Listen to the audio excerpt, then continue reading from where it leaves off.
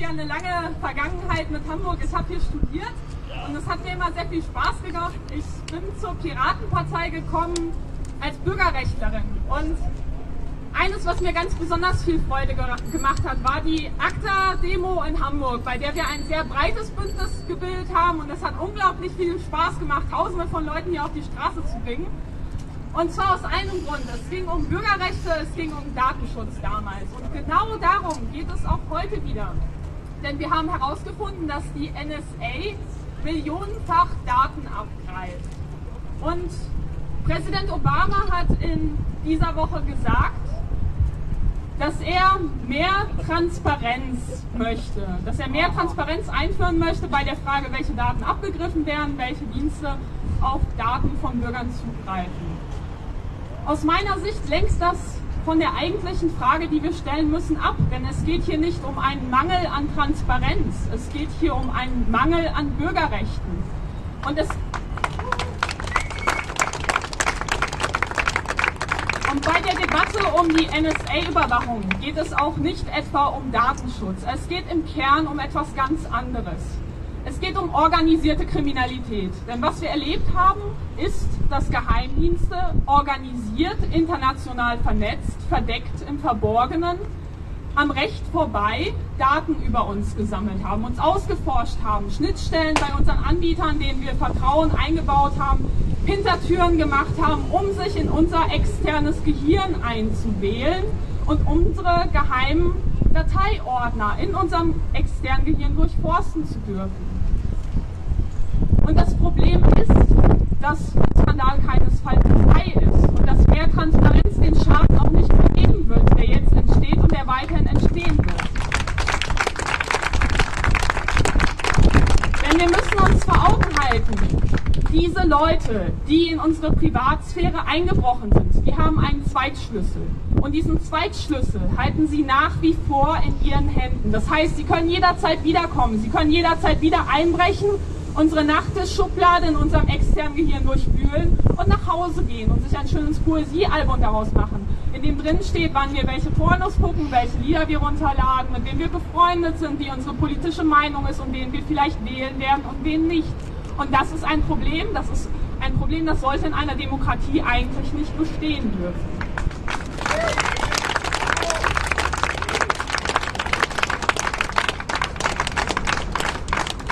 Ja, man fragt sich ja so ein bisschen, was macht die Bundesregierung eigentlich dagegen? Und wir sehen ganz deutlich, dass die Bundesregierung überhaupt nichts tut. Sie legt ihre Hände in den Schoß und wartet erstmal ab und schweigt es tot. Und warum tut sie das? Der Grund ist ganz einfach. Unsere Geheimdienste haben auch einen Zweitschlüssel, um genau dasselbe zu tun, was die NSA auch tut.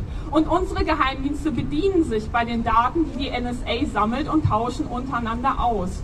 Und deshalb hören wir so wenig. Und deshalb werden einfach auch neue Menschen in den Parlamenten gebraucht, die nicht betriebsblind sind und das nicht hinnehmen werden.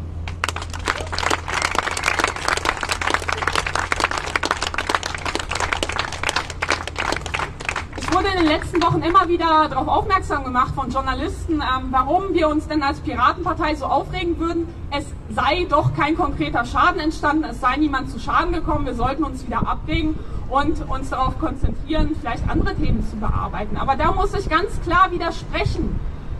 Denn es sind Menschen zu Schaden gekommen, und zwar jeder einzelne von uns. Denn in dem Moment, wo wir uns nicht mehr sicher sein können, was mit den Daten passiert, die wir untereinander austauschen, in dem Moment, wo Kommunikation nicht mehr vertraulich ist, kommen wir alle zu Schaden.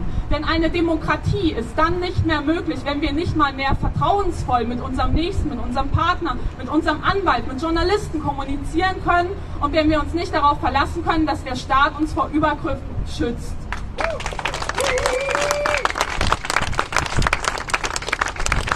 Und eines an dieser Debatte, die momentan geführt wird in den Medien und auch von den Parteien, ist grundlegend falsch. Denn es geht nicht um Datenschutz. Es geht um was viel, viel Fundamentaleres.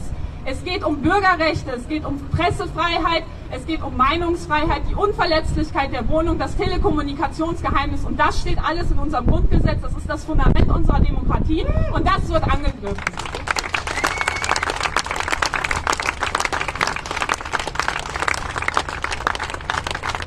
Denn wer überwacht wird, der ist nicht mehr frei. Und in einer Demokratie, in der der Prozess gegen uns alle eingeleitet wird, ohne dass wir einen konkreten Verdacht ausgesetzt wird, in dem wir alle pauschal zu potenziellen Gefährdern und potenziellen Terroristen erklärt werden, so eine Demokratie ist nicht mehr frei. Denn wir alle sind in diesem Moment potenzielle Gefährder für den Überwachungsstaat. Und darauf bin ich auch stolz.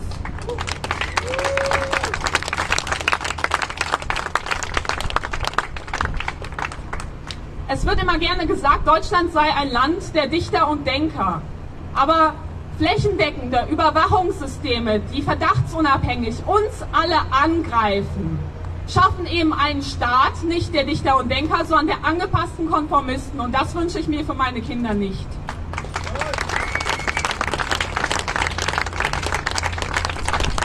Und deutsche Innenpolitiker argumentieren ja auch immer wieder gerne mit dem angeblichen Supergrundrecht auf Sicherheit. Es wird gesagt, wer nichts zu verbergen hätte, der hätte auch nichts zu befürchten. Das Problem ist, dieses Argument ist mir sehr wohl bekannt. Dieses Argument ist auch meiner Familie sehr wohl bekannt. Meine Eltern sind damals aus dem Osten ausgewandert nach Westdeutschland, weil sie eben nicht wollten, dass ihre Kinder in einer Gesellschaft aufwachsen, in der Geheimdienste verdachtsunabhängig einfach so Post aufmachen dürfen. Und das ist genau das, was passiert in dem Moment, in dem Geheimdienste sich dazu aufschwingen, allmächtig in unseren digitalen Gehirnen herumwühlen zu dürfen. Denn das Argument, wer nichts zu verbergen hat, der hat auch nichts zu befürchten, ist ein Argument, das wird in totalitären Staaten gerne verwendet. Denn in diesen Staaten wird den Bürgern das Recht auf Privatsphäre grundsätzlich abgesprochen. Und das ist ein Paradigmenwechsel, der ist gefährlich, der greift das Fundament unserer Gesellschaft an und dagegen müssen wir uns wehren.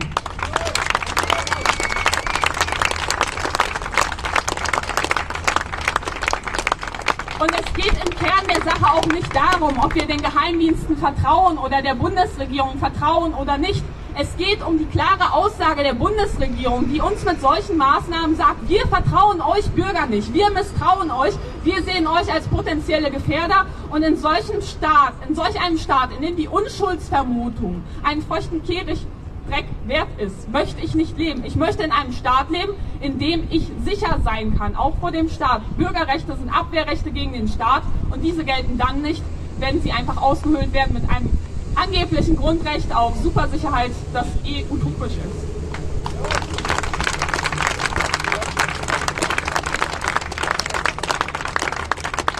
Und PRISM ist auch kein Einzelfall, der wie eine Naturgewalt vollkommen überraschend über uns alle hereingebrochen ist.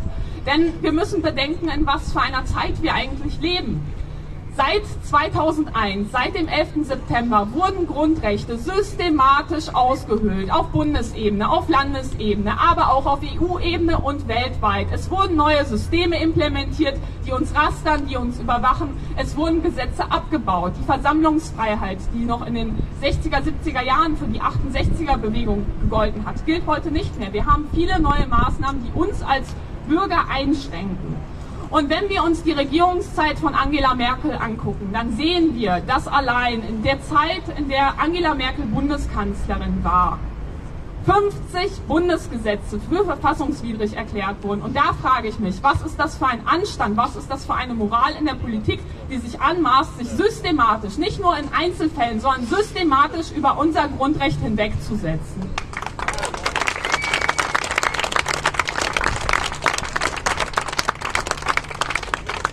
Und es geht hierbei auch nicht darum, was Angela Merkel macht und was sie nicht macht. Es geht im Kern darum, was alle Vorgängerregierungen vor ihr auch gemacht haben. Denn wir reden hier von einem Fundament des Überwachungsstaates, bei dem Rot-Grün durchaus am Fundament mitgearbeitet hat. Damals unter Schröder, unter Rot-Grün wurde das Trennungsgebot systematisch ausgeweitet. Das Bundeskriminalamt darf verdachtsunabhängig rastern, überwachen.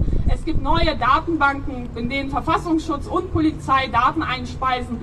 Unsere Lehren aus der Nazi-Zeit, unsere Lehren auch aus der Stasi-Zeit wurden hier einfach über den Haufen geworfen. Es werden allmächtige Institutionen geschaffen, die, gegen die wir uns nicht zur Wehr setzen können. Und das ist ein riesiges Problem.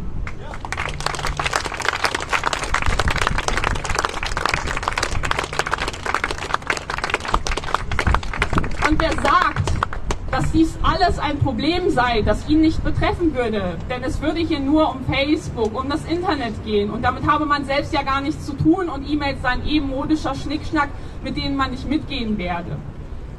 Da muss ich ganz klar widersprechen, das ist falsch. Denn in Zukunft wird jeder Aspekt unseres Lebens mit digitalen Medien vernetzt werden. Und ich bin ehrlich gesagt froh darum, denn ich selbst bin froh, dass ich vielleicht eines Tages eine elektronische Seehilfe haben werde, auf die ich angewiesen bin. Ich möchte dann aber, dass diese Seehilfe frei ist von Hintertüren für Geheimdienste, von Hintertüren für Anbieter, die mir personalisierte Werbung schalten müssen. Und da müssen wir einfach 10, 20 Jahre in die Zukunft gucken, was für eine digitale Gesellschaft wir haben wollen. Eine Gesellschaft, die auf Transparenz und Mitbestimmung durch neue Medien setzt oder aber durch, auf Repression und Überwachung. Und da bevorzuge ich ganz klar Ersteres.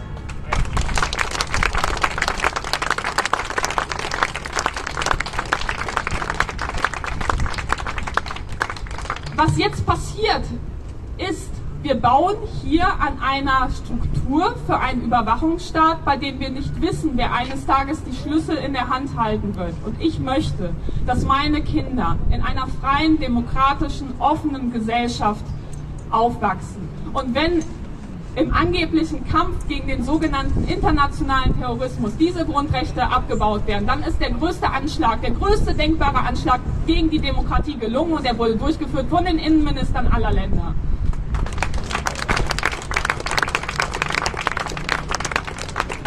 Was wir jetzt vor allem brauchen, ist die angemessene politische Reaktion auf diese Missstände, die wir alle beobachten, von denen wir täglich in der Zeitung lesen. Und daran mangelt es. Wir brauchen jetzt eine lückenlose Aufklärung. Wir müssen wissen, was da eigentlich passiert ist. Warum gibt es noch keine internationale Debatte über eine neue Gauk-Behörde, die Daten sammelt, wer wann wen überwacht hat, die, an die ich mich wenden kann als Bürger, um herauszufinden, wer eigentlich in meinen privaten Daten herumgeschnüffelt hat und an wen diese Daten weitergegeben worden sind. Und ich vermute, das liegt unter anderem daran, dass Bundespräsident Gauck überhaupt gar kein Interesse daran hat, da er sehr zögerlich war in Bezug auf PRISM und das Ganze am Anfang erstmal abgetan hat als Bagatelle. Und dafür schäme ich mich immens.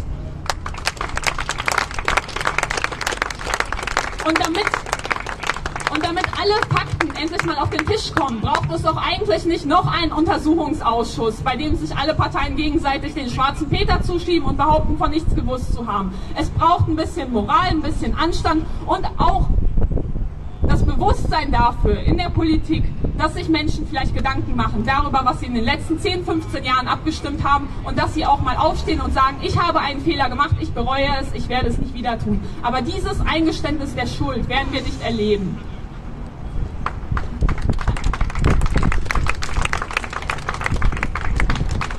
Es wird viel diskutiert über Edward Snowden. Einen gesetzlichen Whistleblower-Schutz haben wir aber bis heute nicht, weder in Deutschland noch in der EU. Stattdessen beobachten wir, wie Flugzeuge, in denen er angeblich stecken könnte, über EU-Luftraum zurückgepfiffen werden und nicht durchgelassen werden. Und das ist etwas, wo ich mich frage, was bedeutet eigentlich die EU-Grundrechtecharta für unsere Abgeordneten, für unsere Regierung, wenn sie dazu führen, dass Whistleblower, die so etwas offenlegen, die eigentlich für die Transparenz sorgen, die Obama jetzt angeblich verspricht, dass diese Menschen einfach so hängen gelassen werden und dass sie sich in Staaten wie Russland Zuflucht suchen müssen, anstatt hier Zeugenaussagen machen zu können, um zu beweisen, um zu zeigen, wer da eigentlich mit drin gesteckt hat.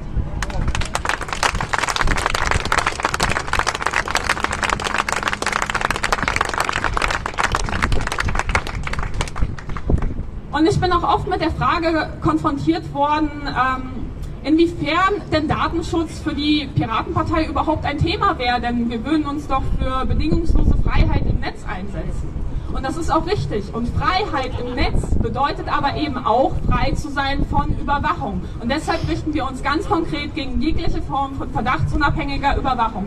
Wir sagen Nein zur Vorratsdatenspeicherung. Wir sagen Nein zu ACTA und allen Nachfolgeabkommen. Wir sagen Nein zum Staatstrojaner. Und wir werden dort keine Kompromisse machen. Nicht so wie die FDP und nicht so wie die Grünen, die immer wieder rumeiern und sich auf andere Gesetze berufen.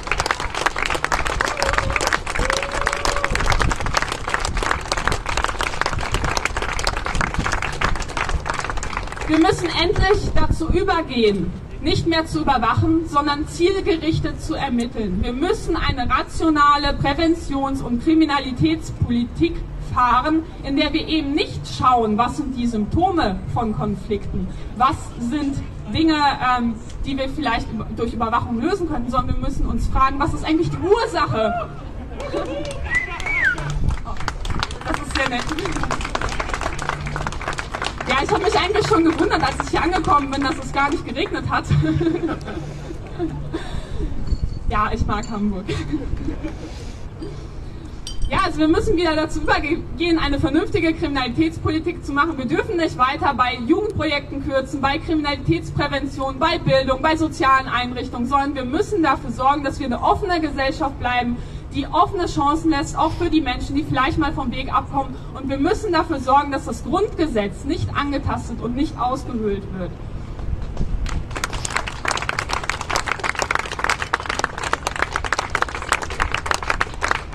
Und wir Piraten, wir lieben Technik. Und ich sehe in der Technik eine riesige Chance für die Demokratie, wenn wir nur anfangen, die ganzen Milliarden, die ganzen Steuermilliarden, die wir auf EU-Ebene, aber auch Bundesebene konstant in den letzten Jahren in Überwachung und Repression gesteckt haben, wenn wir die einmal in Technik investieren würden, die für uns statt gegen uns arbeitet, dann hätten wir eine Gesellschaft, in der ich möchte, dass meine Kinder aufwachsen und nicht einen schlüsselfertigen Überwachungsstaat.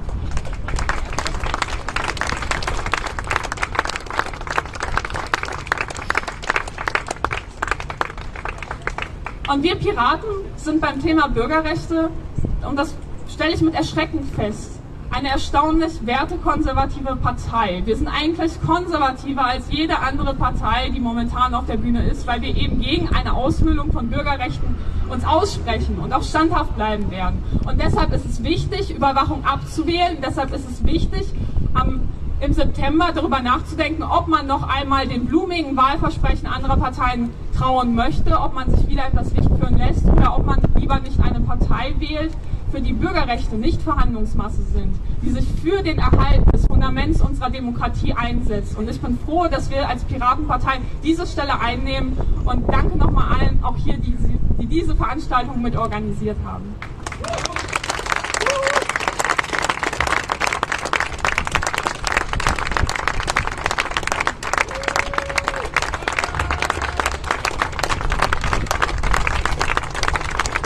Ich brauche keinen Schirm.